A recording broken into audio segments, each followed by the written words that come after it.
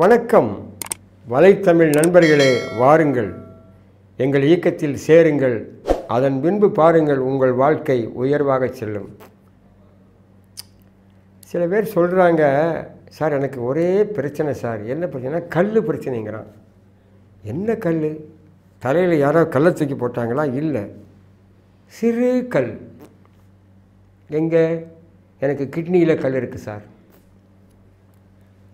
பித்தப்பையில் கல் இருக்குது சார். பித்தப்பைக்குள்ளே கல் இருக்க முடியாது. கல்லுங்கிறாங்க. சரி சிறுநீரகத்தில் கல் வந்து விட்டது என்று சொல்கிறார்கள். ஏன்? எப்படி வந்தது? இப்பொழுது நம்முடைய வீடுகளிலே குடிநீர் குழாய் இணைப்புகள் ஒவ்வொரு அறையிலும் பைப்புகள் குளிப்பறையில் நிறைய பைப்புகள் வைத்திருக்கிறோம். சில ஊர்களில் நல்ல தண்ணீர் இருக்கும். ஆற்று தண்ணீர் ஏரி தண்ணீர் சிறப்பாக காவேரிக்கு பக்கத்தில் இருக்கிற ஊர்களில் நல்ல தண்ணீர் தான் அந்த குழாயிலே வரும். சில ஊர்களில் போர்வெல் போட்டு உப்பு தண்ணீர் எடுத்து அந்த அரசாங்கம் மக்களுக்கு வரிசையாக வழங்கி கொண்டிருக்கும். அந்த வீடுகளில் பார்த்தால் அந்த பைப் டேப் நீர்க்குழாய் திறப்பான்களில் உப்பு படிந்திருக்கும். வெள்ளையாக பா பச்சை கலந்தாற் போல படிந்திருக்கும். இது ஏன் படுகிறது? எப்படி படுகிறது? சொல்லுங்கள். அந்த தண்ணீரில் இருக்கும் உப்புத்தானே அப்படி படுகிறது. அதே மாதிரி குளியல் அறைகளிலும் கூட அந்த உப்பு படிந்திருக்கும். குக்கர் பாத்திரங்களில் தண்ணீர் கொதித்து கொண்டு அடிக்கடி இருந்தால் அதில் உப்பு படிந்திருக்கும். போர்வெல் கிணறுகளிலே காற்று பம்பிங் மூலமாக தண்ணீரை மேலே எடுப்பார்கள். ஏர் கம்ப்ரெஷர் மூலமாக. அந்த குழாய்களிலே உப்பு படிந்து படிந்து குழாயினுடைய அந்த விட்டம் டயாமீட்டர் குறைந்து விடும். ஆகவே உப்பு காற்றிலிருந்து வரவில்லை தண்ணீரிலிருந்து வருகிறது. இது தெளிவாக தெரிகிறது. உப்பு வந்தால் கரைந்து போய்விட வேண்டும் அல்லவா ஏன் கரையவில்லை? கரைக்கின்ற அளவுக்கு நீங்கள் அதற்கு ஏற்பாடு செய்யவில்லை. இப்பொழுது கடல் தண்ணீரை எடுத்து வெப்பத்தில் வெயிலில் வைத்தோம். அந்த உப்பானது படியும் நீரானது ஆவியாகிவிடும். நம்முடைய உடம்பில் இருக்கிற அதிகப்படியான நீரை பிரிக்கக்கூடிய இடம் நம்முடைய கிட்னி தான் சிறுநீரகம். வலை பின்னல்களால் ஆனது இரத்தம் உள்ளே வந்து போய்க்கொண்டே இருக்கிறது. அங்கே சிறுநீர் கசிந்து வந்து கொண்டே இருக்கிறது. ஒரு நீர்க்குழாய் அங்கே நீர் சொட்டிக்கொண்டே இருந்தால் அங்கே உப்பு படிவதை நாம் பார்க்கலாம். இப்பொழுது ஷவர் என்று சொல்லி குளிப்பதற்கு தண்ணீர் விழுகின்ற அந்த ஷவர் இருக்கும் அதில் துவாரங்கள் இருக்கும். அங்கே தண்ணீர் கொஞ்சம் நிற்கும் அது சொட்டி கொண்டிருக்கும் பின்பு காய்ந்து விடும். இப்படி தினசரி அது காய்ந்து காய்ந்து உப்பாக படுகிறது நாம் பார்க்கலாம். துவாரங்கள் அடைத்து விடுகின்றன. இதுபோல் நம்முடைய இரத்தத்திலே அதிகப்படியான உப்பு இருந்து அது ஓடுகின்ற வேகம் குறைந்து அங்கே மாட்டிக்கொள்வதால் கிட்னியிலே ஸ்டோன் வருகிறது. வந்தால் வந்துவிட்டு போகட்டுமே என்றால் அப்படி முடியாது. அது அபாயமான ஒரு இடம். சிறுநீரகத்தின் வடிகட்டும் திறன் குறைகிறது. அது பெரிதாகிக்கொண்டே வருகிறது. அந்த சிறுநீரகத்தின் படம் பார்த்தீர்கள் என்றால் அங்கே ஒரு வி வடிவமான அந்த மடிப்புகள் இருக்கும். அந்த வி வடிவம் அமைப்புகள் இப்படி போன்ற வி வடிவ அமைப்புகள் இந்த மாதிரி வரிசையாக இருக்கும். இதற்குள்ளே அந்த உப்புக்கள் மாட்டிவிடும். அந்த உப்புக்கல்லானது முக்கோண வடிவமாக இருக்கும்.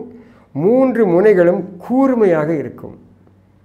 அந்த உப்பானது ஓரளவுக்கு பெரிதானுடனே இப்படி கலன்று வந்துவிடும். சிறுநீர் குழாய்க்குள்ளே போக வேண்டும். அங்கே தான் போக முடியும். இந்த முக்கோண வடிவத்தில் மூன்று புறம் கூர்மையான முனை இருக்கிற கல் கீழே இறங்கி அந்த இரத்த குழாய் அல்ல சிறுநீர் குழாயை கிழித்து கொண்டு வரும். அங்கே வலிக்கும். இங்கே இப்படி இருக்க வேண்டிய இடத்தில் உப்புக்கள் சேர்ந்து சேர்ந்து விரிவடையும் பொழுது இங்கேயும் விரிவடையும் பொழுது இங்கேயும் விரிவடையும் ஒரு இடம் நெருக்கடி ஏற்படுகிறது. இவ்வளவுதான் இருக்க வேண்டும் சந்து. இதுக்குள்ளே ரத்தம் போய் உப்பு எல்லாம் சேருகிறது. எல்லாம் விரிந்து விட்டால் என்னாகும்? இடம் நெருக்கடி அழுத்தம் ஆகவே வலிக்கிறது. இந்த உப்புக்கள் பிரிந்து வந்தால் அங்கே குத்திவிடும் இந்த உப்புக்கள் தான் கிட்னி ஸ்டோனாக மாறுகிறது. இதில் ஆக்சாலேட் ஸ்டோன் என்ற ஒரு வகை இருக்கிறது. ஸ்டாக் ஹார்ன் ஸ்டோன் என்று இருக்கிறது ஸ்டாக் ஹார்ன் என்றால் மான் கொம்பு போல அதற்கு கிளை கிளையாக கொம்புகள் இருக்கும் அப்படிப்பட்ட அமைப்பிலிருந்து வரும். நன்றாக குத்திவிடும். இன்னும் ஒன்று ஒரு உருண்டை கல் போல கொஞ்சம் கொஞ்சம் அங்கே திட்டு திட்டாக இருக்கும். எதுவாக இருந்தாலும் ஏன் உண்டாகிறது என்றால் நீங்கள் போதிய தண்ணீர் குடிக்கவில்லை. அதிகமாக உப்பு போட்டு சாப்பிடுகிறீர்கள். நீங்கள் சாப்பிடுகின்ற உணவுகளில் பல ரசாயன உப்புகள் இருக்கின்றன. தாவரங்களுக்கு யூரியா போடுகிறார்கள். மாடுகளுக்கும் யூரியா கலந்த தீவனம் தருகிறார்கள். நீங்கள் பால் தயிர் அதிகமாக சாப்பிடுகிறீர்கள். பால் பொருள்களில் கிட்னி ஸ்டோன் அதிகமாக உண்டாகும். இது ஆராய்ச்சியில் புள்ளி விவரங்களில் தெளிவாக தெரிகிற உண்மை. தண்ணீர் ஒழுங்காக குடிக்காவிட்டாலும் இது உண்டாகும். இது தெளிந்த உண்மை. சரி கிட்னி ஸ்டோன் வந்து விட்டது. என்ன செய்ய வேண்டும்? அதுதானே உங்களுக்கு தேவை. தண்ணீரை நிறைய குடியுங்கள். கரைந்து விடுமா? கரையும். தண்ணீர் மெதுவாகத்தான் கரைக்கும். அது கரைப்பான் அல்ல மெதுவாகத்தான் கரைக்கும். எப்பொழுது குடிப்பது? காலையில் எழுந்தவுடன் ஒரு லிட்டர் தண்ணீர் குடிக்க வேண்டும். ஒரு லிட்டர். நான் சொல்வது சராசரியாக அறுபது கிலோ உள்ள மனிதனுக்கு ஒரு லிட்டர் தண்ணீர் குடிக்க வேண்டும். குடித்துவிட்டு வேகமாக நடக்க வேண்டும். அந்த தண்ணீரானது இரத்தத்தில் கலந்து வேகமாக சுற்ற வேண்டும். வேகமாக நடக்க வேண்டும் மூச்சு வாங்க வேண்டும் இரத்த ஓட்டம் வேகமாக வேண்டும் மூச்சு காற்று வேகமாக வேண்டும். இப்பொழுது அதே வேகத்தில் அந்த இரத்தம் கொஞ்சம் கிட்னிக்குள்ளும் போகும். அப்பொழுது அந்த கல்லை கரைக்கிறதுக்கான வாய்ப்பு இருக்கிறது. இப்படி தினசரி செய்து வந்தால் கல் கொஞ்சம் கரையும். அதே தண்ணீரில் எலுமிச்சை மழத்தை பிழிந்து ஒரு லிட்டர் தண்ணீரில் ஒரு எலுமிச்சை மழமும் கலந்து கொஞ்சம் தேன் கலந்து இதுதான் தேன். இந்த மாதிரி தேன் எல்லாம் எல்லா பக்கம் விற்கிறது. அது தண்ணீரிலே தேனை கலந்து அதில் கொஞ்சம் எலுமிச்சம்பழத்தையும் கலந்து நீங்கள் குடித்தால் கல் நன்றாக கரையும். வெறும் தண்ணீரை விட எலுமிச்சம்பழம் அழுக்கை போக்கும் தெரிந்தது தானே? எண்ணெய் பிசுக்கு கையில் இருந்தால் எலுமிச்சம்பழத்தை போட்டு தேய்த்தால் எண்ணெய் பிசுக்கு போகும். இதனால்தான் சில உணவகங்களில் கொஞ்சம் எலுமிச்சம்பழத்துண்டு வைக்கிறான். கை கழுவுவதற்காக. கை சுத்தத்திற்கே எலுமிச்சம்பழத்தை பயன்படுத்துகிற நீங்கள் ரத்தம் சுத்தப்பட கிட்னி சுத்தப்பட எப்பாவது சாப்பிட்ருக்கிறீர்களா பல வீடுகளில் எலுமிச்சம்பழம் வாங்குவதே இல்லை. என்னமோ தெரியாது. மார்க்கெட்டில் போய் பாருங்கள். ஒரு ஆயிரம் பேர் வந்து செல்லக்கூடிய ஒருவர் சந்தையில் எத்தனை பேர் எலுமிச்சம்பழம் வாங்கினார்கள் என்று பாருங்கள். எத்தனை வாங்கினார்கள் என்று பாருங்கள். இது ஜூஸாக குடிப்பதற்கு எத்தனை என்று பாருங்கள். ஊறுகாய்க்கு எத்தனை என்று பாருங்கள். பூஜைக்கு எத்தனை என்று பாருங்கள். ஆகவே எலுமிச்சம்பழம் ஒரு அற்புதமான கனி. கழிவுகளை நீக்கும். உப்புகளை மட்டுமல்ல எண்ணெய் பிசுக்குகள் கொழுப்புகள் வேண்டாத எல்லாம் நீக்கும். ஆகவே கிட்னி ஸ்டோன் உள்ளவர் ஒரு லிட்டர் தண்ணீரில் ஒரு எலுமிச்சம்பழம் பிழிந்து கொஞ்சம் தேன் கலந்து குடித்துவிட்டு வேகமாக நடக்க வேண்டும். வெளிநாட்டிலிருந்து அரேபிய நாடு. அங்கிருந்து எங்களுடைய குடும்ப நண்பருடைய மகள் எங்களுக்கு மிகவும் பழக்கமானவர்கள். ஒரு நாள் தொலைபேசியில் இப்படி கிட்னி ஸ்டோன் வந்துவிட்டது என்று சொன்னார்கள். பாலைவன நாடுகளிலே வெப்பம் அதிகம். ஏர் கண்டிஷனுக்குள்ளே இருக்கிறார்கள் வீட்டுக்குள்ளே. தண்ணீர் குடிப்பது குறைவு. உணவுகள் வழக்கம் போல மூன்று வேளை டிஃபன் சாப்பாடு பால் தயிர் கொஞ்சம் முட்டை தின்பண்டங்கள் என்று உண்கின்ற வழக்கம். கிட்னி ஸ்டோன் என்று சொன்னார்கள். அவர்கள் அந்த வெளியூரில் வெளிநாட்டில் இருக்கிறார்கள். அவர்களுக்கு இயற்கை மருத்துவத்தில் அனுபவம் இருக்கிறது பரிச்சயம் இருக்கிறது. அவர்களுடைய அம்மா யோகாசன நிபுணர் இயற்கை மருத்துவ சங்கத்தில் உறுப்பினர் தெளி தெரிந்தவர். அந்த குழந்தைக்கு பயிற்சி இருக்கிறது. நான் சொன்னேன் இந்த மாதிரி தண்ணீரை குடித்து கொள்ளுங்கள். அங்கே படிகள் இருக்கும் மாடி வீடுகளிலே. ஒவ்வொரு படியிலும் குறித்து குறித்து இறங்கி வாருங்கள். மெதுவாக இறங்குவதை விட குறித்து குறித்து வேகமாக இறங்கி வாருங்கள்னு சொன்னேன். ஒவ்வொரு முறை குதிக்கும் பொழுதும் அந்த கல் கீழே இறங்கும். பெண்களுக்கு கல் சுலபமாக வந்துவிடும். அந்த யூரின் போகின்ற அந்த புற வெளி துவாரங்கள் அடைக்காமல் வந்துவிடும். ஆண்களுக்கு அது ஒரு பெரிய பிரச்சனை இருக்கிறது. கிட்னியில் இருந்து அந்த யூரின் குழாய் வழியாக சிறுநீர் குழாய் வழியாக பைக்கு வந்துவிடும். பிளாடர். இந்த புரோஸ்டேட் எல்லாம் இருக்கக்கூடிய பிளாடருக்கு வந்துவிடும். அங்கிருந்து வெளியே வரும்பொழுது மாட்டிக்கொண்டால் ரொம்ப வலிக்கும். அது உயிர்நிலை உணர்வு மிகுந்த பகுதி. அந்த துவாரம் சின்னதாக இருக்கும். இப்படி எல்லாம் இருக்கிறது. ஆகவே முதலில் கரைத்து கரைத்து எடுக்க வேண்டும். உடைத்து உடைத்து எடுக்க வேண்டும். ஆகவே எலுமிச்சம்பழ சாறு குடித்தால் மட்டும் போராது. காலை உணவில் மதிய உணவில் இரவு உணவில் உப்பு இல்லாமல் சாப்பிட வேண்டும். ஐயோ என்னால் எப்படி முடியும் என்று கேட்பீர்கள். உப்புக்கு பதிலாக சீரகம் போட்டுக்கொள்ளுங்கள் உப்பு வேண்டாம். சார் இமயமலை உப்பு போடலாமா? கடல் உப்பு வேண்டாம் கல் உப்பு போடலாமா? பாறை உப்பு போடலாமா? எல்லா உப்பும் ஒன்றுதான். பாறை உப்பு என்று சொல்லி இந்த காலத்தில் கொஞ்சம் நிறத்தை மாற்றி உருவத்தை மாற்றி விற்பார்கள். அத்தனை பாறை உப்புகள் எங்கு கிடைக்கும்? எப்படியோ வியாபாரம் நடக்கிறது. ஆகவே உப்பு தப்பு என்பதை புரிந்து கொள்ளுங்கள். எது உப்பை கரைக்கும்?